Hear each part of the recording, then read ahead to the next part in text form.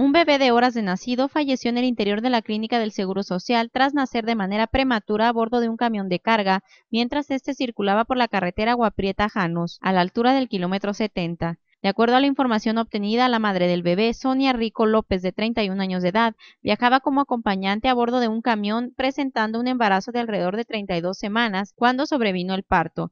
Socorristas de la Cruz Roja acudieron en su auxilio. Sin embargo, el recién nacido no sobrevivió a las condiciones del alumbramiento y falleció al serle practicadas las primeras atenciones en el nosocomio. Personal del Grupo de Periciales de la Procuraduría General de Justicia del Estado, personal del Grupo de Periciales de la Procuraduría General de Justicia en el Estado, señaló como causa de muerte insuficiencia respiratoria por parto prematuro. La madre se encuentra en buen estado de salud, internada en el citado hospital. Para Abson TV Noticias, Alejandra Ibarra.